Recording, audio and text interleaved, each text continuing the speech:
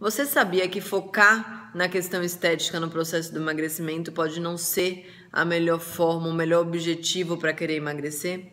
Grande parte das pessoas, cada vez maior o número de pessoas que estão consumindo laxantes, diuréticos, estão até induzindo o próprio vômito para conseguirem emagrecer em torno do estereótipo que é vendido hoje em dia.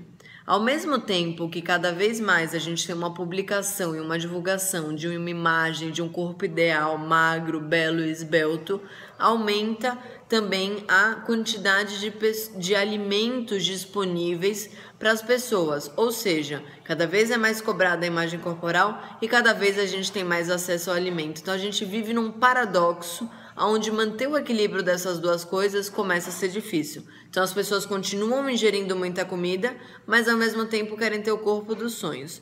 Primeiramente, querer ter o corpo dos sonhos pode não ser uma forma saudável, porque a história de uma outra pessoa, o corpo de uma outra pessoa, não necessariamente é o mesmo seu, é o mesmo meu, é o mesmo de qualquer um.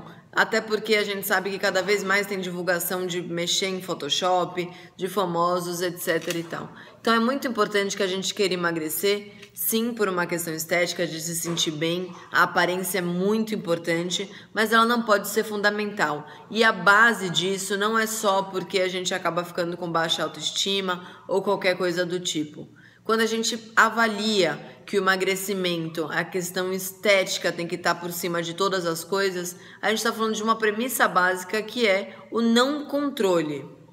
Quando a gente emagrece querendo mudar, se transformar, ter uma vida mais saudável, a gente consegue controlar esses hábitos. A questão estética pode ser às vezes muito distante ou até mesmo impossível a exigência que a gente quer. Então a gente tende a ficar frustrado porque provavelmente não vai atingir aquele objetivo ideal. Então, se você quiser emagrecer por uma questão estética, procure um foco, um parâmetro dentro da sua realidade. Não foque em famosas, não foque em revistas, não foque em jornais. Queira ser a sua melhor versão. Essa é a melhor forma de procurar emagrecer. E mais que isso, quando a gente fala de estética, a gente muitas vezes não tem controle. E do comportamento a gente tem controle. E eu, no próximo vídeo eu vou falar sobre algumas formas que a gente tem de começar a ter controle no nosso emagrecimento. Para ver mais vídeos como esse, acesse psicologiadanutrição.com.br.